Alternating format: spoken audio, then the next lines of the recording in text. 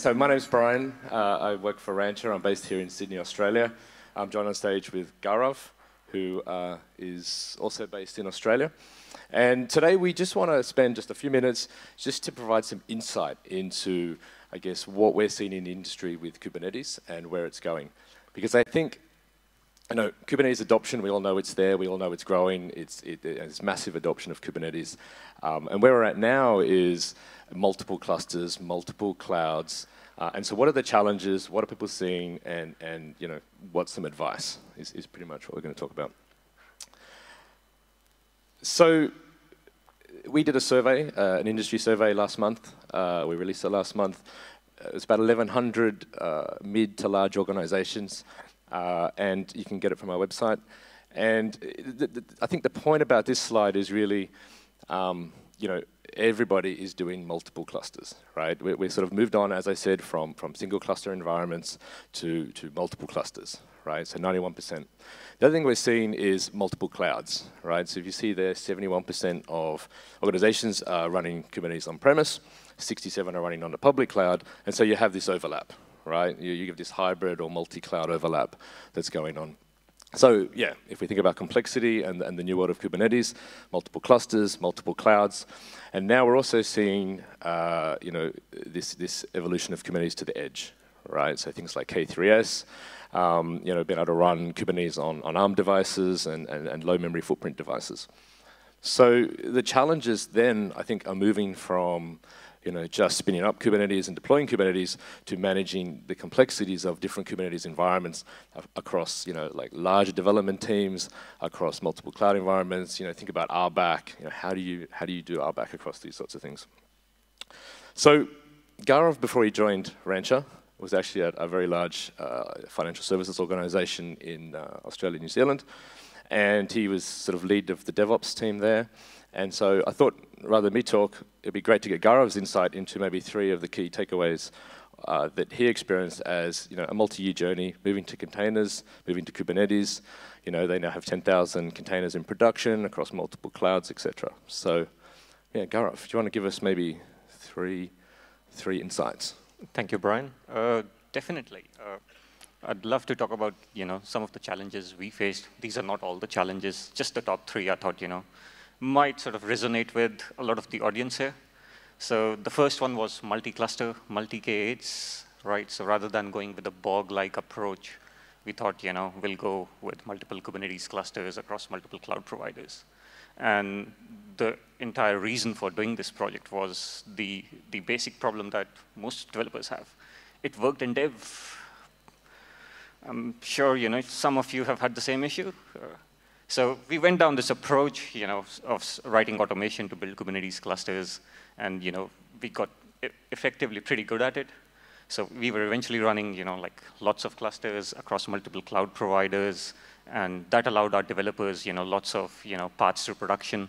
The idea was they could, you know, use one environment if they wanted to test against one sort of, you know, backend integration and, you know, move it to another Kubernetes environment if they wanted to test against another integrated environment. So you know, we realized by doing this that we were so good at spinning up clusters that we thought, you know, let's just apply it to run multiple production sites. This way, you know, we can just do immutable infrastructure all the time. So every eight to 10 weeks when we want to roll out security patches or do any infra updates, you know, we wouldn't do it in place. We'd just blow away a full cluster and build it all back. And that sort of really helped us with our security posture in terms of, you know, not being, having, you know, in being able to respond to security events, you know, pretty quickly the next big problem was RBAC inconsistency, right? The original setup of Kubernetes and container clusters that we built was initially written for, let's say, one dev team, and now suddenly, you know, there was like a pent-up demand that other dev teams want to use the service as well. So we sort of, you know, thought we have to operate at scale. And the biggest problem in a multi-tenanted Kubernetes environment is RBAC and consistency.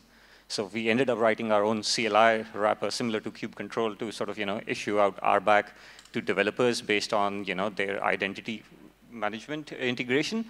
And what it meant was, you know, they could consistently access the clusters and deploy stuff, but the workloads weren't consistent, which leads to my favorite example, the 3 a.m. call, which some of you over here might have had, you know, that something's broken, can you fix it for me, please? And that was my 3 a.m. call. Uh, you know, uh, one of the pods had died for a service, and obviously now, you know, there was no health check, so, you know, some requests were failing, and I told the dev, just go delete it, and, you know, the scheduler will spit out a new one. But he was, uh, you know, sort of scared that this is prod, I don't want to do it in prod. And I was like, dude, whatever you do is not going to make it worse. Just delete it and move on with your life. but, you know, he insisted, no, no, no, this is prod. You better do it for me. So I had to log in at 3 in the morning, delete that pod, and go back to bed. And Monday, I showed up at work. Some of the people who I used to work with are still here, and they know how grumpy I was, that this guy just wouldn't delete his stuff. So we, uh, we had this problem of consistency. So we, we had the CLI, right? So we forced it to, we thought, well, let's just expand it to sort of, you know, enforce standards on the deployment specifications that were being sort of, you know, sent to the scheduler. So we would parse the entire Helm manifest or Kubernetes manifest to make sure some best practices were being followed. For example, in this particular case, you know, we always had health checks on, the on, your, on your pods, right? And then memory limits, so we could sort of, you know, effectively uh, do capacity planning at our end. And while I was there, I thought, you know, let me implement my first OODA loop, you know, do uh, container scanning in the CI phase. And, you know, that would sort of, you know, make people aware that security is everyone's responsibility.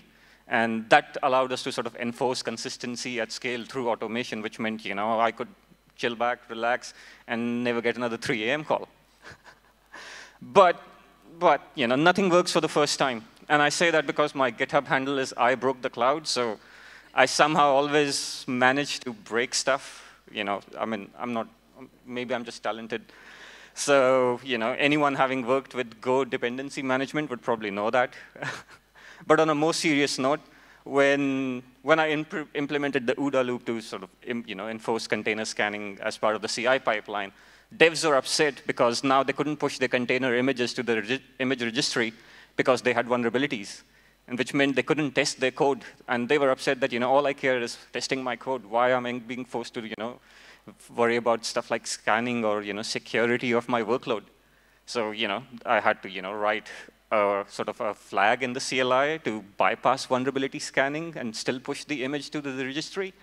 And sure enough, everyone was using the same flag in a few months, and no one was scanning anything. So I implemented the scanning in the deployment pipeline. And that started breaking deployments. And people were like, oh, we didn't get notified about the vulnerabilities at the build phase. And I sort of pointed them to the log. It's right there. Have a look. Uh, can you make the font bigger? So I was like, OK, sure. so the idea is nothing works for the first time. You know, you have to persevere, and you know, eventually you'll get there. Whatever we did was a multi-year journey, and you know, just keep going at it. That's my only advice. Thanks, Gaurav. So hopefully that was useful, just a bit of insight into, I guess, real-life experience of scale and some of the, the trends that we're seeing. Uh, we have a booth at the back, so come and say hi, chat to Gaurav, chat to me. We, we hope to see you. Thank you. Yeah, thank you.